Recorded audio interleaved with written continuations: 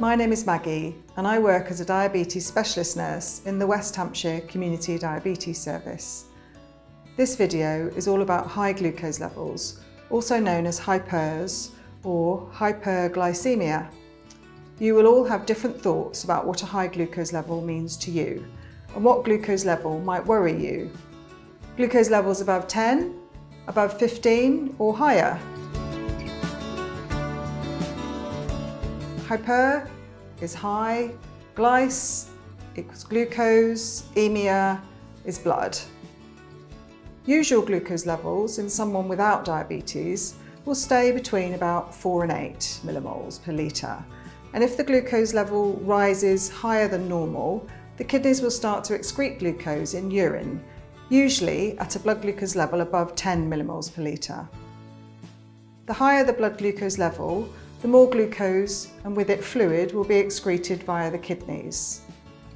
Usually the pancreas will release insulin when needed to lower glucose levels after meals and will release stored glucose from liver and muscles when extra glucose is needed, such as overnight and when exercising. When you develop type 1 diabetes, the pancreas stops producing insulin, and so you have to give yourself insulin by injection for your meals and as a background insulin once or twice daily, or just fast-acting insulin via an insulin pump.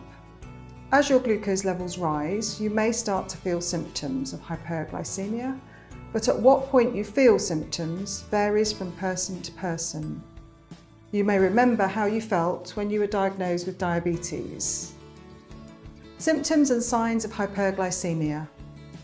Passing more urine than usual, getting up in the night to pass urine, feeling thirsty, feeling tired and weak, blurred vision, abdominal pain, leg cramps, nausea and vomiting, raised glucose levels, ketones in the urine or blood, fungal infections such as thrush, slow healing wounds, weight loss. Causes of hyperglycemia. Missing a dose of your insulin. Not enough insulin taken, i.e. your ratio is too low or you underestimated your carbohydrates. Stress. Being unwell. Overtreating a hypo after some forms of intense exercise such as squash, sprinting and weight training. Certain medication such as steroids. Injecting into areas of lipohypertrophy, lumpy injection sites. Insulin expired or affected by temperature. Insulin pen not working. How to prevent hyperglycemia. Adjusting your insulin doses proactively will help you to achieve your target glucose levels. Learning to adjust your insulin for your food and lifestyle. Checking your glucose levels regularly. Ask your diabetes team about having a trial of the Freestyle Libre flash monitoring sensors. Treating and managing hyperglycemia. Using a correction dose will enable you to give an increased dose of your fast-acting insulin to reduce a raised glucose level back to target. And we cover using a correction dose in one of our other videos. If you do not have enough insulin, you may be at risk of developing ketoacidosis. So checking for ketones is important when your glucose is raised, so that you can take action if you are developing ketones. We cover this subject in our video on managing illness and sick day rules. Ensure you are drinking enough fluid to keep hydrated. If you are feeling unwell, you should get medical advice. For advice on what to do when unwell, please see our video on managing illness and sick day rules. Your HbA1c or Libre glucose data will help you to review how your insulin treatment is working and whether you are achieving your glucose goals. Having high blood glucose levels regularly is not something you should live with as it can make you feel unwell and increase your risk of ketoacidosis. High glucose levels in the long term can increase your risk of developing diabetes complications. If you notice that your blood glucose levels are often high, you may want to contact your diabetes team.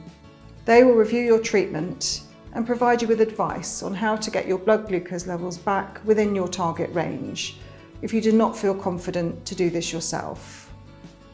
You may feel anxious after getting a high blood glucose reading and worry about high glucose levels. If you're finding it hard to deal with these feelings, you may want to talk to someone about this. Psychology support services will be available in your area, so ask your GP or practice nurse about local psychological support. I normally get really annoyed Yeah. because I don't want that number. Yeah. And it's not something I think, oh, okay, fine, I'll sort. Yeah. It just makes me feel rubbish about everything. Yes. It's like I've failed. Exactly. So I think you've you've hit the nail on the head. You know, when you get a high blood sugar, you it's like, oh, you know, I I hear that a lot. The whole day, the rest of the day is ruined. Whatever I started off with, good intentions, is ruined. And then the feeling like failure. What have I done wrong? So if it's all my fault. Um, and then the extra effort that you have to put in to get it right. I'm not sure if you will be able to. Yeah. You know, and then I think your your feeling of that it's going to bring on complications. Oh, all those complications that I've been told about. So if you have all of those thoughts going on in your head, they are what we call negative thoughts. Those negative thoughts can activate an anxiety response, like a fear response.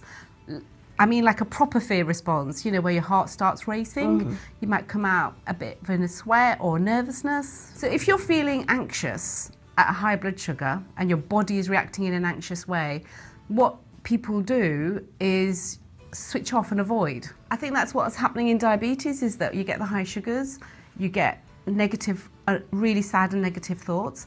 That brings on a depression or an anxiety feeling. You don't want that feeling, so you avoid it. You go off and say, "Oh well, never mind. You know, tomorrow's another day." Or, and that's happening. If that's happening every day, every day, you know, then obviously you're not going to look after your diabetes, and the thing that you've been fearing starts happening.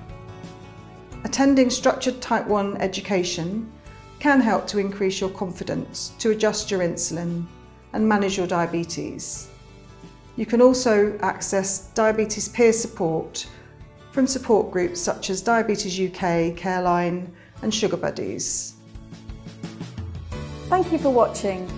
This video is part of our Type 1 Structured Education course.